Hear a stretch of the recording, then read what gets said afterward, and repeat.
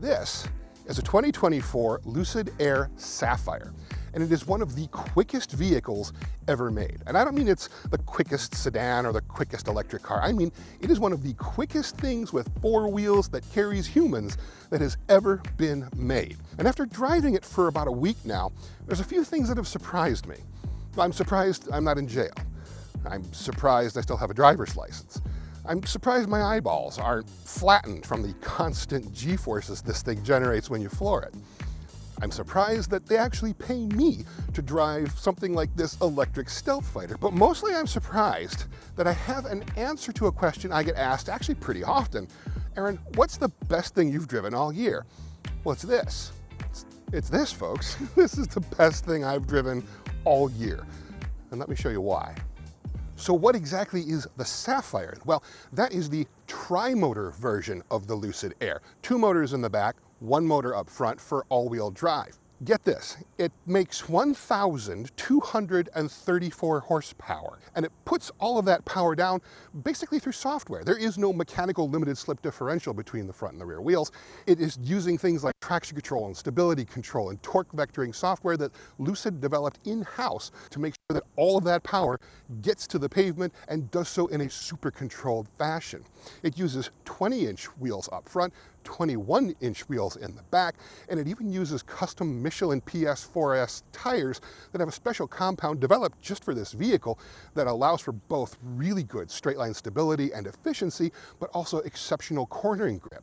It also makes the front track a little bit wider as well, but it also has a custom suspension that's very different from regular versions of the Lucid Air. It uses a 118 kilowatt hour lithium ion battery that's mounted very low in the chassis for a really good center of gravity, which is what you want in something that can handle like this. Lucid says that it's good for a range of 427 miles, according to the EPA, which is really quite a long distance for any electric car. It uses carbon ceramic brakes at all four corners, and 10 piston front calipers with four piston rear calipers in order to haul this thing down from the speeds that it can generate. Overall, this thing, in terms of its engineering, in terms of its suspension, in terms of the goods and greasy bits underneath, is very different from a standard Lucid Air, and that it has been heavily massaged to be stable at high speeds. So what does all this power and technology get you? Well, it gets you a five passenger luxury sedan that can go from zero to 60 in what Lucid says is 1.89 seconds and that tops out at 205 miles per hour. I have actually a hard time conveying to you just how quick that is in words, but suffice it to say that it takes you longer to say 1.89 seconds than it does to go from zero to 60 miles an hour in a Lucid Air Sapphire. First of all, it is pretty much impossible for me to convey to you accurately without the use of a dedicated closed track just how insane this car is to drive, just how quick it is, how responsive it is, how just mental this thing is. But suffice it to say that every person I have put in the passenger seat and done an acceleration test with has used a word that we cannot repeat here or YouTube would pretty much ban this video in short order. That's the effect that this thing has on people. Now, in order to use the Sapphire correctly, you've got to know a, a couple things about the drive modes. First, you've got smooth mode, and smooth is basically just your typical everyday comfort mode where things are calm and things are easy and quiet. It limits the horsepower to 767. limits to 767 but it also keeps things pretty cushy. The next is Swift mode, and Swift mode turns things up a little bit. It makes it a little bit more sharp, a little bit more responsive, still limits that horsepower, however, to 767. Next comes Sapphire mode, and that's pretty much as high as you want to go out on the street. It boosts that horsepower up to 1,121. Not the full range of horsepower, but still 1,121 horsepower. Four figure horsepower for the street. It also sharpens things up in terms of the steering response, throttle response, all of it. It's still incredibly usable, but that's as high as you want to go on the street. There is a track mode, however, and the track mode has three sub modes.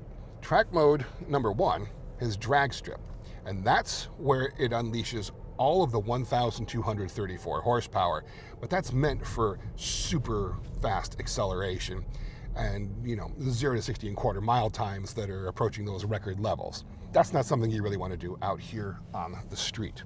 You've also got two other track modes. You've got hot lap mode, which pretty much turns everything up, although the horsepower is still limited to 1003 but everything else, like the powertrain cooling that it does, the battery cooling that it does, the thermal management of the vehicle is meant to allow you to do consistent, just balls to the wall hot laps in order to get a lot of those record times.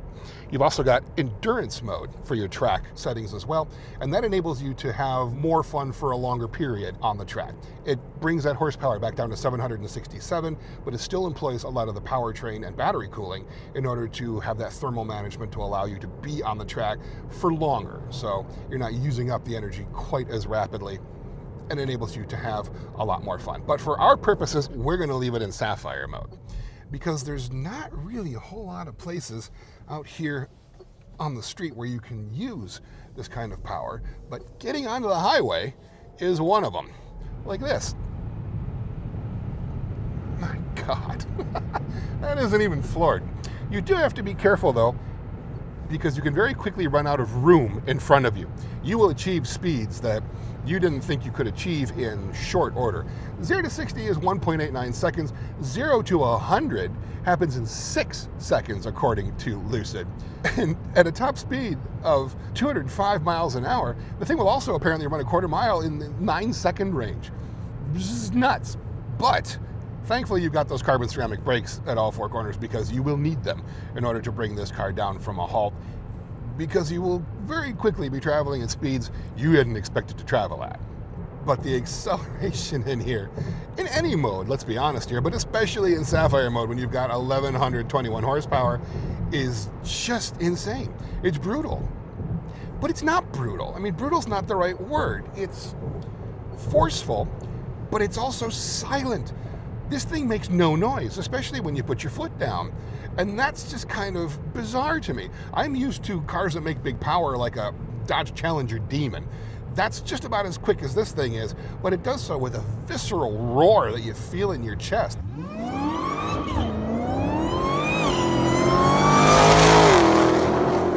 The only thing that you feel in your chest here is the blood leaving the, the atria because it's being squished back into your spine. I've had people in the passenger seat say that they uh, felt the blood leaving their legs and their eyeballs flattening, and that's not unrealistic because the scenery blurs when you push the go pedal in ways that it's just unlike anything else I've ever driven. And it's addictive. It's so much fun. And it also means that you can get past anybody and anything just like that. I'm sorry, what was that? Yeah, yeah, that. Mm-hmm, yeah. It's a scream generator. They could have used this thing in Monsters Inc. in order to really, you know, get the kids worked up. I don't know that I want to put the kids in here. I certainly wouldn't put my mother in here. She'd freak right out. But for someone like me who loves this kind of speed, it's just, you know, effortless. Point and shoot. You want to be over there? Bang, you're over there. You want to be over there? Bang, you're over there. But I think what's most extraordinary about this is the stability and the balance of it. You've got a lot of speed in here. You've got a lot of ability, but all of it is controlled by electronics that are extraordinary in terms of what they're able to do. There is no squirreliness in this car at all. There is no jankiness. There is no torque steer. There's no, oh geez, I'm, I'm you know, on the hairy edge of losing control of it. Nothing like that. It is eminently controlled. It is super stable. Even at higher speeds, it is just easy to drive. And the balance that they have created in terms of the ride and handling the ride quality in this car, despite the fact that it's got some serious sports rubber tires, it's supple, it's luxury car smooth.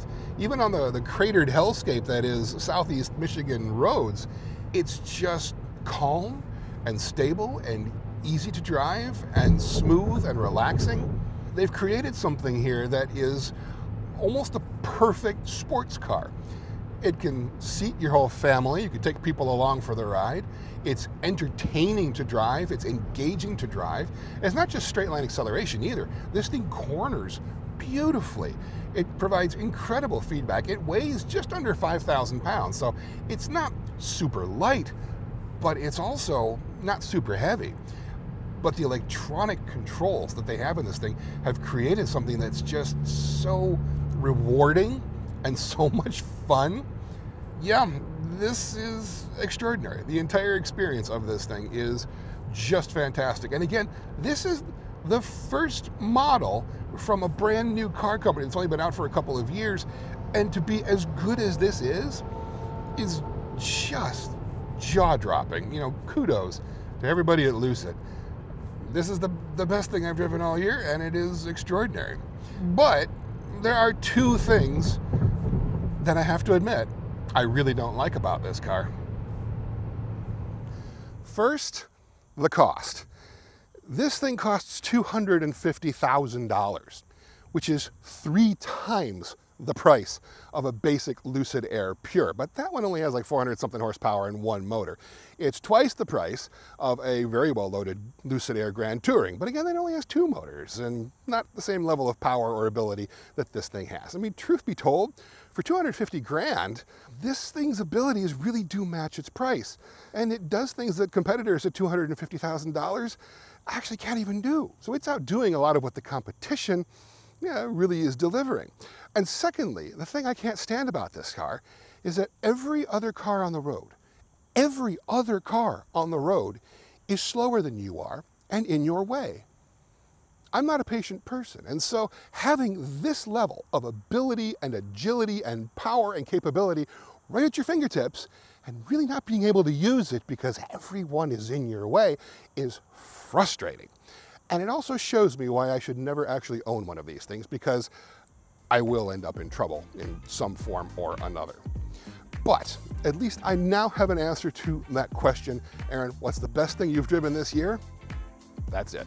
24 Lucid Air Sapphire is the best thing I've driven this year, and it's not even close.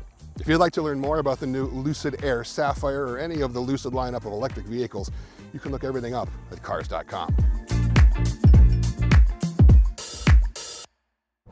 it's just stupid. it's just stupid fast.